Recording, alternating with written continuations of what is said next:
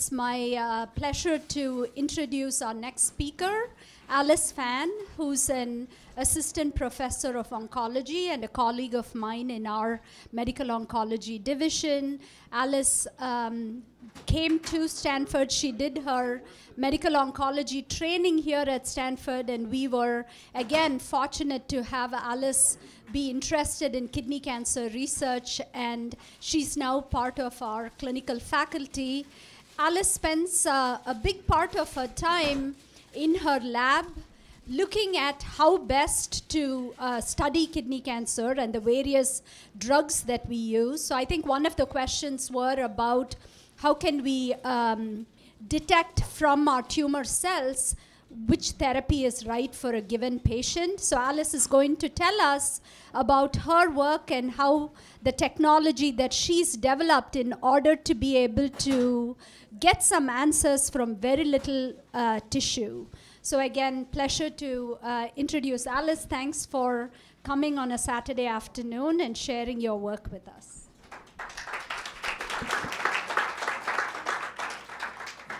Thank you, Sandy, for inviting me. And it's so great to see everybody here. So it's my great pleasure to tell you today about a burning question in my mind and in many of your minds. How do we actually know if a treatment's working? We've heard a lot this morning about how can we predict from a biopsy, from our surgical specimen, from a drop of blood, how can we predict how long we're going to survive from our cancer or if it's likely to come back? But I'm going to ask a, another important complementary question, which is once we've actually chosen our therapy based on the best back. predictors, how do we actually know it's working? A, another important complementary question, which is so we need better answers at every step for kidney tumors. And you've heard a lot here about how we diagnose with um, Sunny's talk this so morning, and how we can do surgery and how that's important, and a bit about choosing our first treatment. Well, for our patients and for many of you in the audience with advanced or metastatic cancer, and we know that this is a tough decision. We have a menu of treatments, then we choose something, and then it, try, it tries to do something against the cancer cells. And then only 8 to 12 weeks later, and you're tired of hearing this from me and Sandy, how long do we have to wait before we can see if it's working? We have to do a CT scan, but we have to wait 8 to 12 later, weeks. And you're tired of That's when we measure the clinical response, and eventually we'll know if we've cured or relapsed. So just to go over, a, uh, to recap some of the things that we've talked about earlier, and then to launch into what I'm going to focus on. We know that at diagnosis, so you undergo a standard evaluation, and that's determining your stage with CTs, imaging, in some cases an MRI, bone scan to see if it's gone to the bone. And that's determining your stage. And then, if it's advanced disease and you require systemic treatment while you would see the medical oncologist, me or Sandy, then we choose for you the best systemic treatment we can based on all the information that we have. In some cases, it's now increasingly involving additional tests that we get. But um, it's important to think, okay, well, what are these treatments that are the first ones? And Sumit just gave you a very beautiful overview of um, especially nivolumab, one of the newest ones. Okay, well, what are these treatments? Oh, this is an old slide. It's supposed to be systemic therapy in 2016. And, um, but you know, it's important because in 2014, all we had were the ones in black, and in in the past year, the three that I've added are and, the three in um, blue. But you know, it's so if you think about it, we've heard a lot today about immunotherapy, thanks to the fantastic talk right before me. And you heard about nivolumab and Opdivo being the newest we've heard a lot today immunotherapy that we have. And we also he um, we also talked about mTOR inhibitors. These are inhibitors, Torisel and um, Afinitor, that are pills or um, given IV treatments that actually suppress tumor cell growth and survival signals in those cells. But if you look at this list, by far the biggest category are pills and IV treatments that are inhibitors of blood vessel formation. And again, this is really important because even the last two that have been approved, cabozantinib and lenvatinib, um, these are inhibitors of blood vessel And again, this is really important because even the last two that have been approved, how do we know that I just talked about all um, these targets that we're trying to do with all these specialized therapies? How do we know that this targeted therapy is working how on my tumor or your tumor? I just talked about all these targets that we're trying to do with all these happening in those cells. So from the time of first treatment, we know that we're supposed to be inhibiting the blood vessel formation that feeds the tumor cells if we give you one of those seven. Or if we're giving you nivolumab, we think we're supposed to be activating the immune system. But how are we measuring that? Right now, the standard of care is our CT scan, and these are diameter measurements. The problem with diameter measurements, even though that's our gold standard, this is the best we've got right now, but it's billions and billions of cells in every square millimeter of tumor. We think we're trying to hit cells and immune cells that are going in there or hit blood vessels that are in the tumor tumor cells, tumor. but we don't have ways of we measuring those yet. So this is what we're going to be talking going about. In there or hit, um, blood vessels Again, the, the standard reevaluation scan is measuring the size yet. of tumors so and how that's changed. But this is Again, why for kidney cancer, that's not always the best way, and we're looking for better ways. So we know that a lot of but our treatments don't necessarily shrink cancer, your tumors. For a tumor to shrink, there has to be a change ways. in balance. Either so the tumor cells are dying faster than they're growing, or they've tumors. all stopped growing and it's just not getting bigger. For it to actually shrink, something has to change in the balance. So just a diameter measurement of how big it is isn't telling us as much information as we really want to know for you. So and the other hard part is that it does take 8 to 12 weeks for a treatment to actually halt tumor really growth. So by the time we can you. see it, based on a um, measurement with a ruler, um, we've had to treat you and you've had to have all the side effects for 8 to 12 weeks before we can actually make that standard measurement. And to make things even tougher, we know that with nivolumab, you just heard that there's a small percent of tumors that actually look bigger at the first scan. And, how can we figure tougher, out we if that's bigger one that's going to shrink later because it's due to tumor cell infiltration with immune cells that are actually attacking the tumor cells, or if it's actually progression?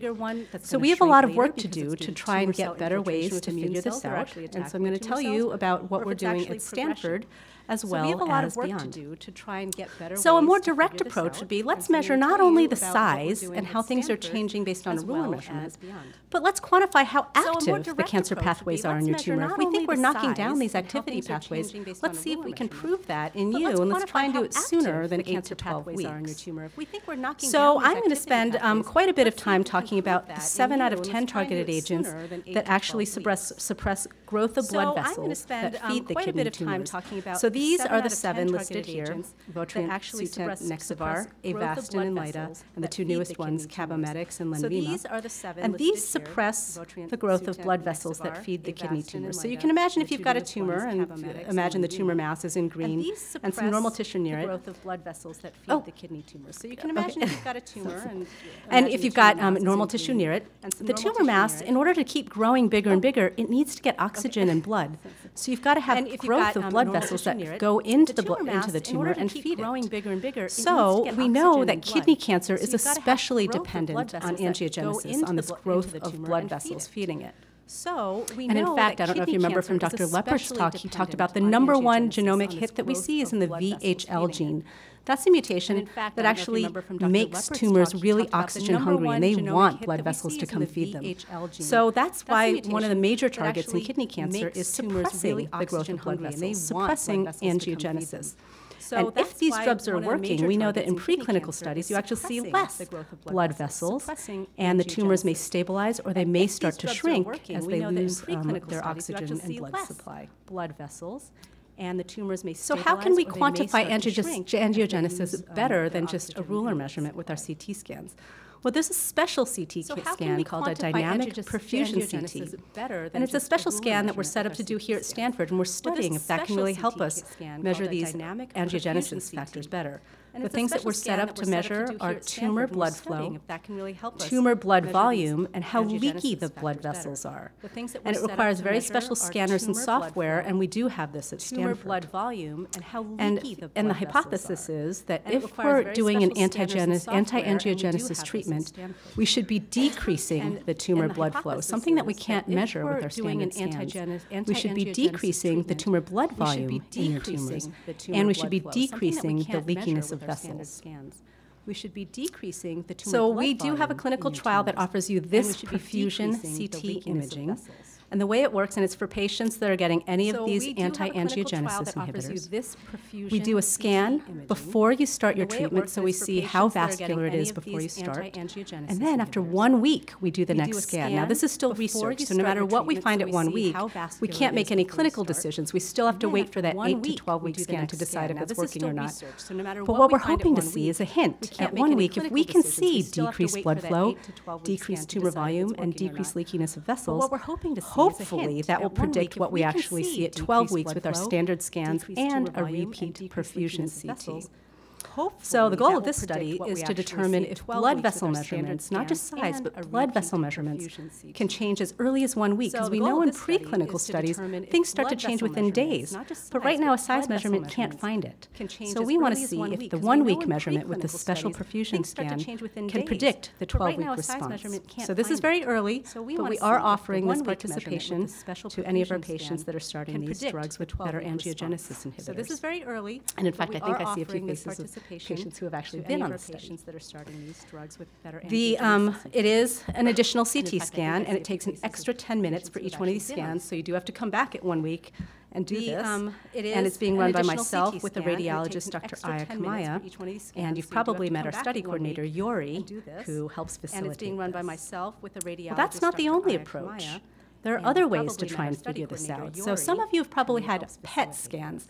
PET scan, well, a standard PET scan, is when we inject radioactive sugar into you, and so radioactive sugar is taken up by tissues scans. that are very active and dividing quickly or metabolically active. Sugar and radioactive sugar is taken up by tissues. The problem with the regular radioactive sugar PET scan is not all kidney cancers take up the radioactive sugar. So one of the, the, the um, regular radiologists at Stanford, Dr. Iagaru, has a new probe. It's called F-18 RGD2 um, peptide. This is a probe that specifically Iagaru binds blood vessels and it's radioactive.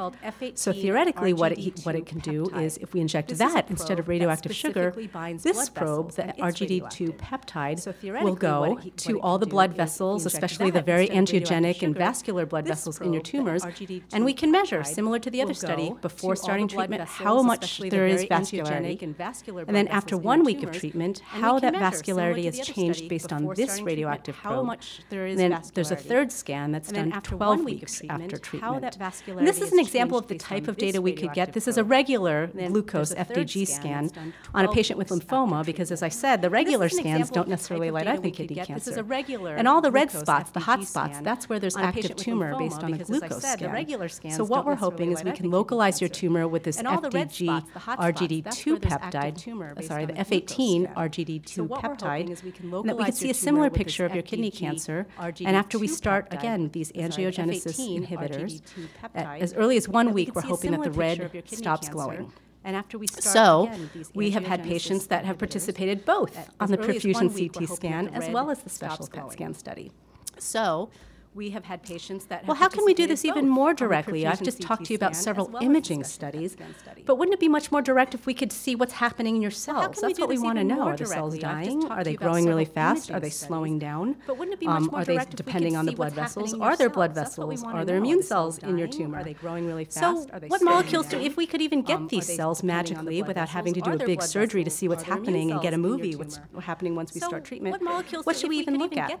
Well, there have been a lot of efforts, and you hear a lot of stuff in the news about measuring changes in DNA, looking at mutations also, there's a lot of great well, research going on with RNA. And in fact, I think you're going to hear more in the next talk from, with Dr. Alshin about ways we're doing this for DNA. Also, there's a lot of great research. Well, what I'm focusing on fact, are proteins. Because if you think about it, DNA is like a blueprint for building a house. It tells you how things are going to be built. And then RNA is kind of the lumber that everything's made out of.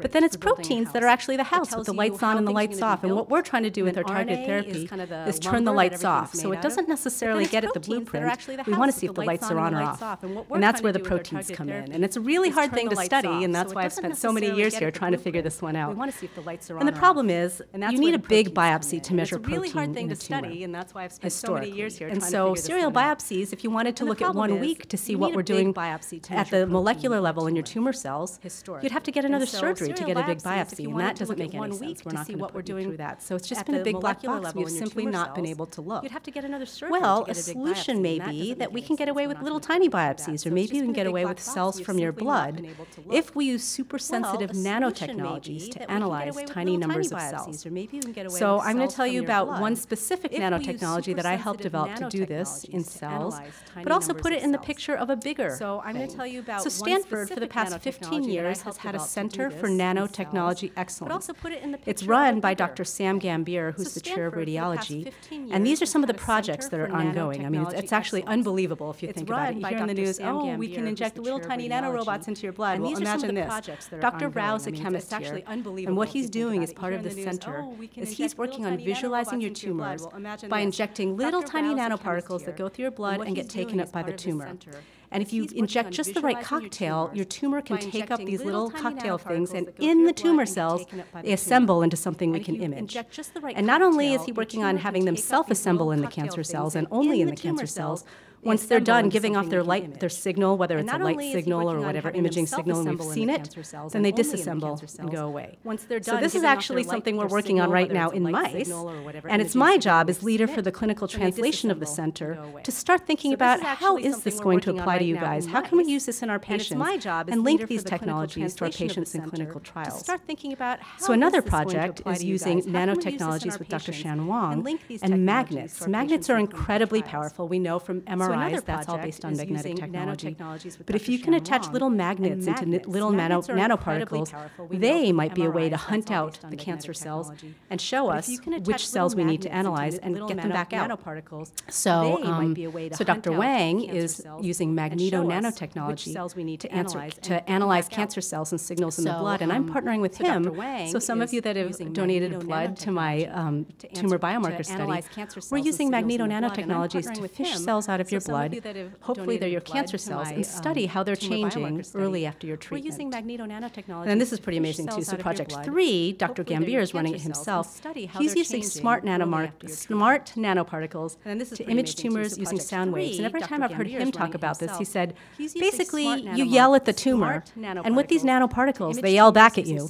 So now you can say, all right, how are you doing today? And it can say, oh, I'm growing, or it can say, hey, I'm shrinking, I'm not so hot today. They yell back at you. This is kind of amazing amazing say, that it's right, coming. How are you doing today? And it can so say, oh, right now, these three. Say, this is I'm the one project so two that's today. actually going on in this our patients. But I'm thinking really hard with the teams one and three. So right now, these three. This is the one project two that's actually going on in our patients. But I'm so one specific nanotechnology that I helped develop is something that's now called the Peggy Sue instrument, and I didn't make the instrument, but I figured out how to use it. So one specific nanotechnology. So it allows rapid profiling of proteins. That's now called the Peggy nanotechnology. Because we make measurements in tiny, tiny capillary tubes. So it allows and we can run 96 tubes at the same time. It's, automated, so the robots do it, so it takes out all human error because a lot of steps we can we introduce can error ourselves.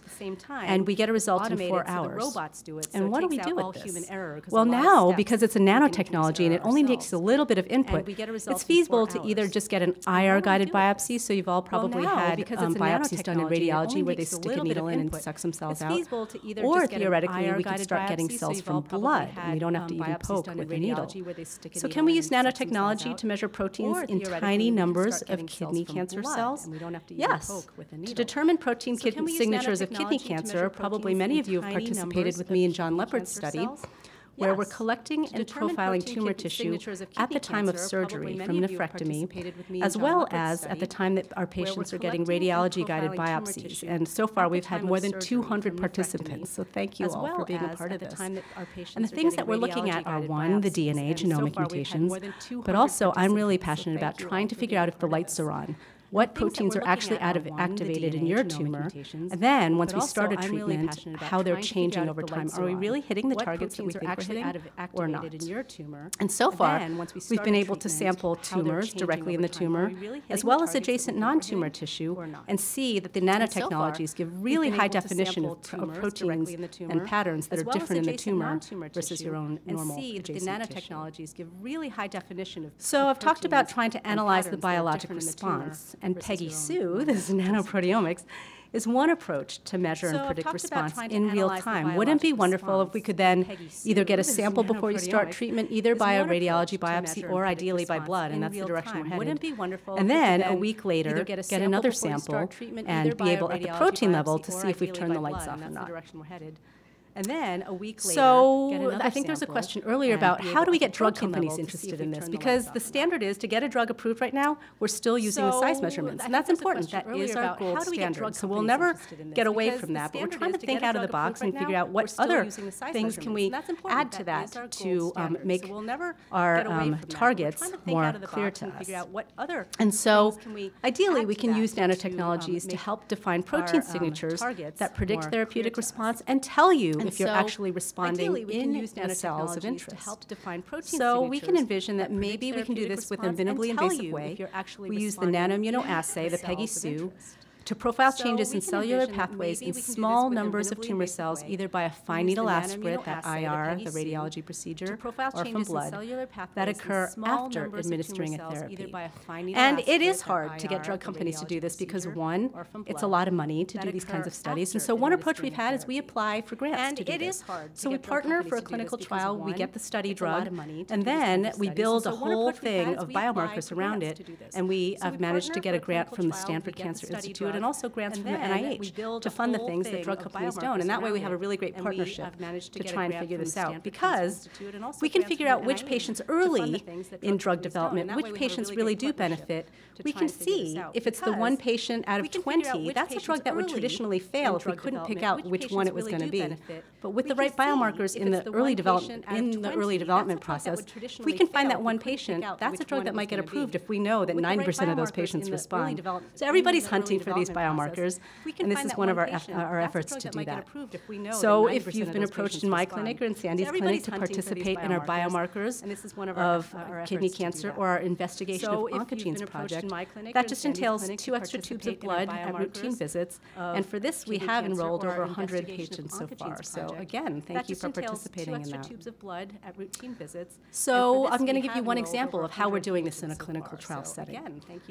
We want to obtain direct tumor measures measurements when we're so testing a new I'm drug, not just the approved ones, that long list that I showed you, setting but also earlier in the you process. Want to obtain direct and as I said, to develop biomarkers to determine response earlier than 8 to 12 weeks, you, we want to accelerate the development of new drugs and select and early which patients are likely to benefit and help personalize the therapy for patients with advanced disease. So not only predicting based on before you start, but early on figuring out if you're actually responding at a molecular level. And this is really important. In a lot of drug development or clinical trials, if it doesn't shrink the tumors and patients don't live longer, we never know why the drugs fail. We literally have to go back to the drawing board and take just the next best candidate and put it through the pipeline again. well, if we can figure out at the molecular level, you know what, the drug didn't actually get to the cells, that helps us. Then we know to modify the drug so it can get in there. So this is a really important piece that's been missing, but we're really hopeful that we can start answering these questions to really make the whole process much more efficient. So this is a really important piece that's been missing. So the specific example is to analyze changes in tumor cells for a specific drug, CB839. This is is a brand so new first in man drug, is which is a glutamate inhibitor. Glutamate is like glucose, it's an alternate, alternate energy source for tumor cells, and we know that kidney cancer is one of the tumors inhibitor. that glutamate tends to rely like on glutamate almost as much, if not more, than glucose. For tumor cells, so we at Stanford have a phase 1 2 study that's testing this brand new drug, CB839, a glutamate inhibitor for its ability so to one, be tolerated, one, two and two, to see if it can control drug, tumors. and wouldn't it be great if we can actually measure the protein that CB839 is supposed to be inhibiting? We want to measure the protein that's producing and these energy molecules and see if, if that's changing over time, and then measure if the energy molecules themselves, the glutamate, are actually decreasing over time. So patients that are eligible for the clinical trial are almost any RCC patient who's switching treatment. It's not a first-line study, so you have to have had one thing first clinical But if you're considering treatment, Sandy and I are always trying to figure out, okay, well, would this study make sense for you? Study, so you have to and this is run by Dr. Telli oh, at Stanford, and I'm kind of running the RCC arm of the study here. Okay, and the study coordinator, actually, oh, this should be updated, is run by Dr. Telli at Stanford, and I'm kind of running the RCC. And what we built into this is not only the blood test that I told you about using the nanotechnology that I'm working on, but also we've built in a novel imaging And modality to image that that is not only pathway the of blood interest. test And this is F18 using the nanotechnology that I'm working FSPG, which But also FSPG is a glutamate, a glutamate probe. interest. And this is And F18 um, let me show you on the next page what that is. FSPG. Interestingly, so it makes sense. I told you that a regular PET scan is actually imaging glucose. Well, for this clinical trial, we're trying to change glutamate levels, so it doesn't make so it sense to use a sense. I standard PET scan. regular PET So we're using the FSPG imaging glutamate. Well, radioactive tracer. trial, we're trying to change But that's a very levels, so specific thing, and a only a handful of patients So across the using the country are going to get this glutamate glutamate inhibitor. tracer. Could this But particular a imaging glutamate radioactive a tracer have patients across the implications? Well, this is getting back to the whole immunotherapy that we were talking about last hour. this particular Is there a way we can better image response to nivolumab, the Well, this is PD-1 getting back to inhibitor? The whole Well, you know what? Glutamate is also a molecule that's used in activated T cells. So when, when your immune cell is really revved up and it's doing stuff, well, you know what? they might glow with this tracer. so what we're doing is we're offering FSPG really imaging to patients that are about to start nivolumab here for kidney cancer, so or this is also nivolumab is also approved in kidney in lung cancer and melanoma. To patients that are so those patients are also eligible for kidney cancer or for this kind of imaging. this kind of gets that we're going towards molecules. It doesn't necessarily matter what kind of tumor you have, but if you're getting a therapy that's targeting something specific, we want to try and make it more cross-disciplinary. It doesn't necessarily matter. So this study, the FSPG study, is run by Erik Mittra, and his study coordinators are Sonia and Omar. So I think many of you in the audience have talked to them as well. And again, this is just the glucose um, image of an, a glucose scan. But what we hope to see is the hot spots. Actually, if nivolumab, we want to see more hot spots. We want it to get more red, showing that there's immune activation, not decrease in immune spots. Actually, if nivolumab, we want to see more. So to summarize what I've talked about, more red, we can now use new technologies to measure molecular changes in tumors over time Everything, almost everything I talked about is still in the research stages, we so we can't use any of these studies yet to make a clinical decision. We aren't in a position almost everything I talked oh, about one week we saw this, so we're going to switch. But that's what's coming. This is the very first step. to make a clinical decision. So I talked about perfusion CT scan to measure tumor perfusion. So we're going to switch. The RGD2 blood vessel probe and the so FSPG immune glutamate probe, and how we're making nano measurements in blood. blood and they're not mutually exclusive. You can participate in several of these at once. I gave you an example how we're incorporating these technologies into clinical trials, including the CB839 study, and you can envision the studies that Sumit and Sandy are coming up with with the immune combination therapies, how this sort of approach could be really helpful. And we aim to develop biomarkers to help personalize treatment. Immune combination therapies, so with that, I will close really and just acknowledge so many people that make this research possible, including our study coordinators. So Tommy is here in the back, and he's probably talked to you about drawing tubes of blood. So many people Yori, Shermeen, Jared, Denise, as well as our whole clinical team. I don't know if you've noticed, but we have a lot of nurse coordinators sitting in the back who are really dedicated to making sure each of us can get you the care that you need and you can get all the things you need done. So thank you to everybody, especially the patients and the KCA today. Get you the care that you need and you can get all the things you need done. Awesome. Thank you, Alice. Any questions for Dr. Fan? Uh, with the the glutamate inhibitor, are can you use those in conjunction with other drugs? Are they being used with um, nivolumab and with that's a perfect question. Yes, I didn't go into it, but they were first studying it as a single agent, and there was some activity, but now we're pairing it. So the specific flavors that we have going, we're pairing it with the mTOR everolimus in RCC, and there's a new amendment to now start pairing it with the, with the um, angiogenesis inhibitors as well. So yes, in fact, they might be most effective in combination. And it is still phase phase phase one, one two. It's very Are early. Are you seeing any positive results? It's been presented at ASCO this year that we do see in kidney cancer and breast cancer some efficacy. So it's promising. And this may be a whole new thing. There's a lot of excitement about immunotherapy, but we're always thinking about what the next pathway is going to be to target. And metabolic pathway is a big one that's coming.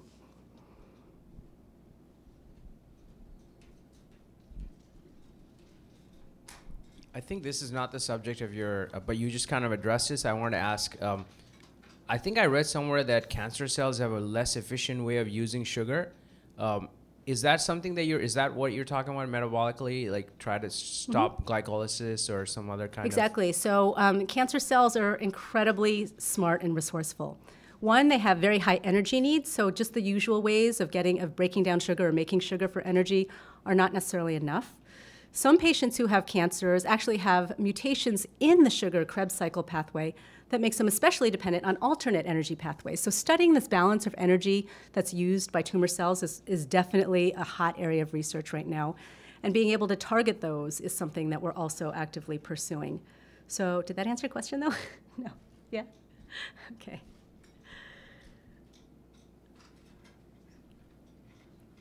Okay.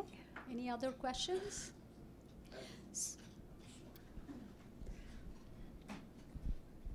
So you mentioned uh, three different areas of nanotechnology treatments. Now, if someone's a relatively new patient and doesn't know much about getting on clinical trials, how does one keep track of what may be taking applicants for trials and deciding if a certain technology might be appropriate for you? That's a fantastic question. Yeah.